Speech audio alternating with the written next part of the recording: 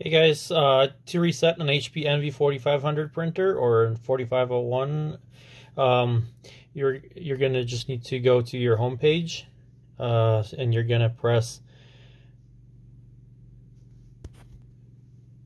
this button here, home, and then this one twice. So we're gonna I'll show you again. Uh, dash, home, dash dash.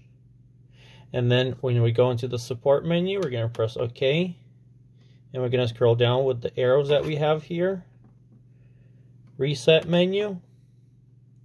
And then we want to, if you just want to reset your printer, you're going to do the semi-full reset. Press OK. And the printer should just turn off after a while. After a few seconds. There it is. About five seconds later, it turned off.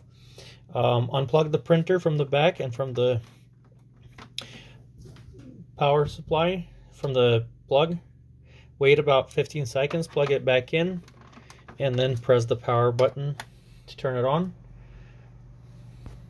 After the printer turns on, you're going to select your language and confirm.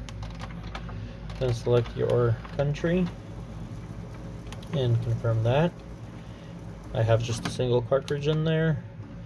So it's going to ask for paper to do the alignment and set the printer up again. So that's your printer has been reset now. Thank you guys for watching. Please subscribe to our channel. Have a wonderful day. Thanks.